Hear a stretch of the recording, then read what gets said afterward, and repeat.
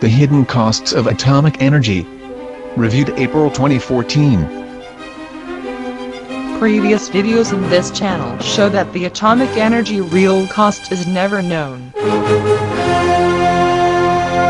Normal operation of the plants continuously generates radioactive residues. Wastes are not disposed of, and keep on accumulating, in some cases for more than 60 years. How high can be the costs of the required disposition, neglected so often? Recent data will be shown on the following slides. In Great Britain, a review from The Economist. Britain is paying dearly for neglecting its nuclear waste.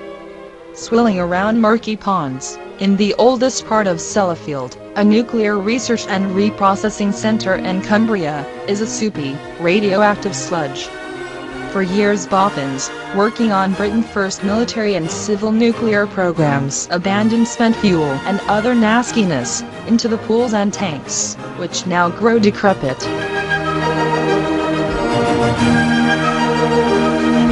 Sellafield is the trickiest of several challenges facing the Nuclear Decommissioning Authority. Sellafield alone costs £1.7 billion, $2.8 billion a year. On March 31, NDA awarded a £7 billion contract to decommission 12 more of Britain's oldest reactor sites over 14 years to a consortium including Babcock, a British engineering firm, and Fluor, an American one. The same figures appear in World Nuclear News, a pro-nuclear publication supported and made possible by the members of the World Nuclear Association. A joint venture between Cavendish Nuclear and Fluor Corporation has been selected to handle the £7 billion decommissioning of the UK's Magnox power plants, as well as several nuclear research facilities. Every nuclear power plant must be decommissioned at the end of its authorized operative life, because its materials are highly contaminated. The required operations imply substantial costs, many times disregarded. A current case in the USA.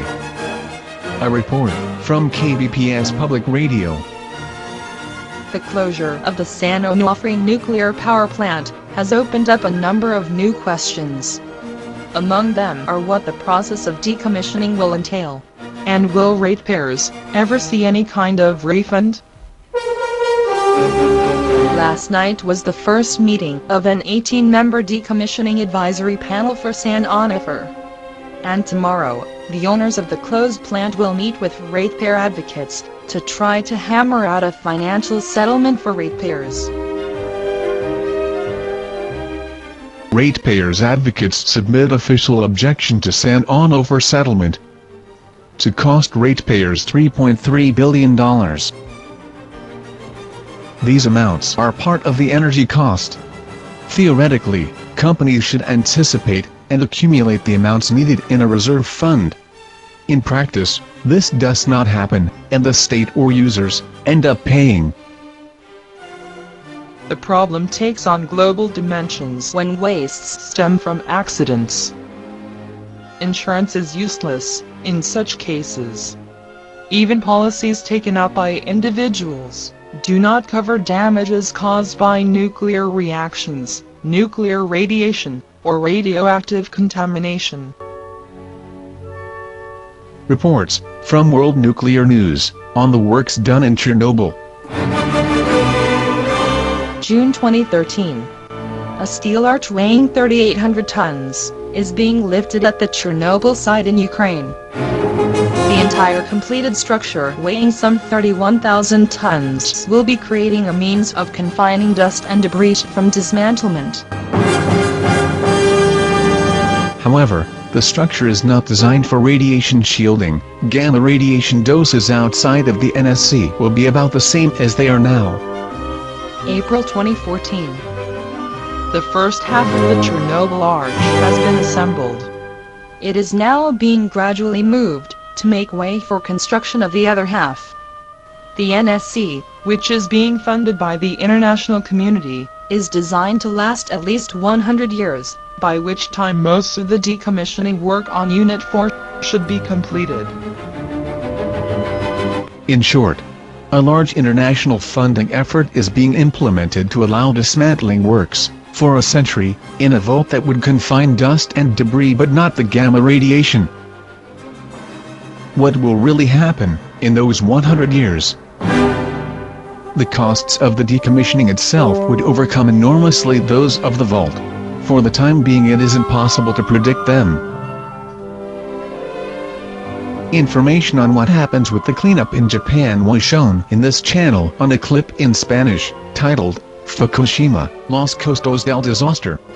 The next slide is the English original of one appearing there, and the following one, provides more recent information.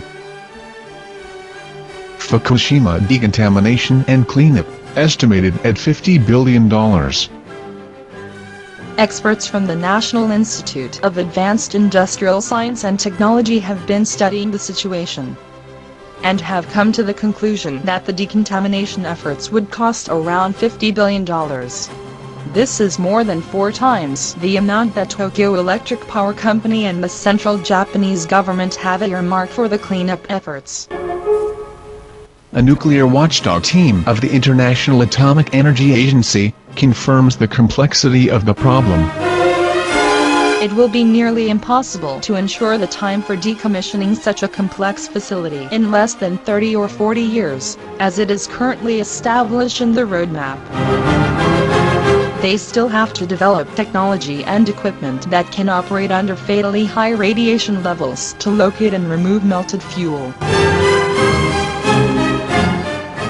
multi-million amounts are spent in the primary management of operative wastes and materials of the contaminated structures.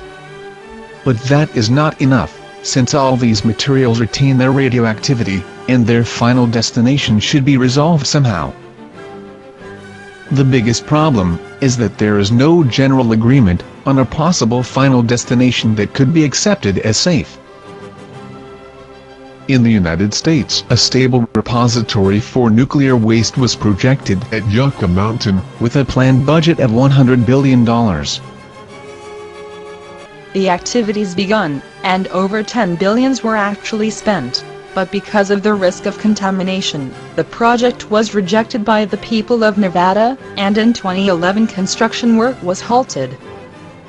In 2014 some activities oriented to geological research were resumed, with limited funds. Another option handled by NASA was to send the waste to the space or the sun. The cover of the NASA technical paper on the subject is displayed, as well as the first two pages of its abstract. The option was discarded costs were impracticable, and a disaster like the Challenger would scatter the waste on the ground.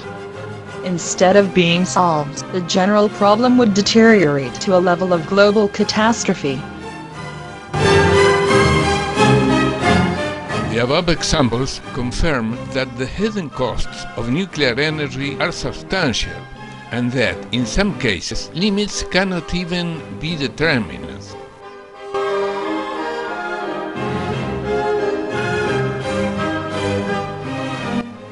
Above considerations, apply to atomic plants based on nuclear fission. Nuclear fusion is an interesting alternative, and its problems are not so overwhelming. Unfortunately, the nuclear fusion has been neglected surely because it had no military applications. See in this channel, atomic energy, fission or fusion,